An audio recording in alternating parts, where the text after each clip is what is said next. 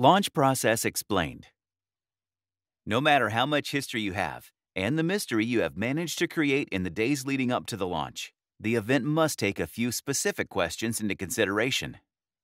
Did you consider the right trends before planning to launch the product? Are you aware of the landscape in which you are launching the product? What makes the product accessible to everyone in the target audience? How to make the launch customer centric? Do you know the parameters by which to measure the performance of the product? Once you answer these questions, you will be closer to understanding what the launch itself is going to achieve. Now, there are three different types of launches. A soft launch is when a product is introduced to the market without drawing too much attention to the product. Then there is something called minimal launch, which is meant for smaller products. This is also applicable for upgrades to an existing product. And finally, there is the full scale launch, which is mostly what we have been talking about through this entire book.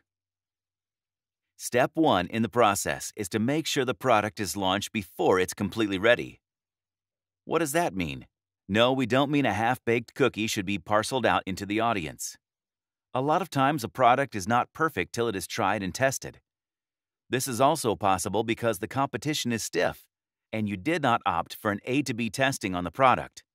In that case, what you can do is a soft launch that helps you reach a few members of the industry or early users. They test the product and give you feedback, which helps you perfect it for the full scale launch that will probably come months later. Step 2 in the product launch strategy is to focus on customer experience.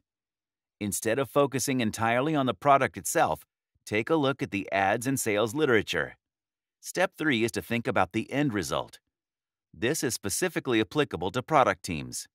You need long term vision and strategic thinking to make a launch and the product itself successful. Step 4 is the timing of the launch. You need enough time to plan and prepare for the launch.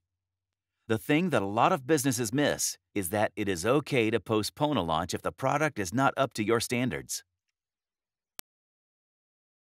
For more free educational content, visit learnforfree.biz.